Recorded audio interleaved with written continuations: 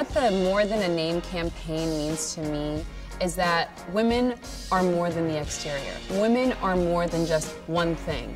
I think the message about being more than a size, an age, a name, a weight is going to resonate with everybody because who wants to feel confined by anything? I'm proud to wear Dress Barn. I'm proud to be a part of the Dress Barn family. And a name is just a name.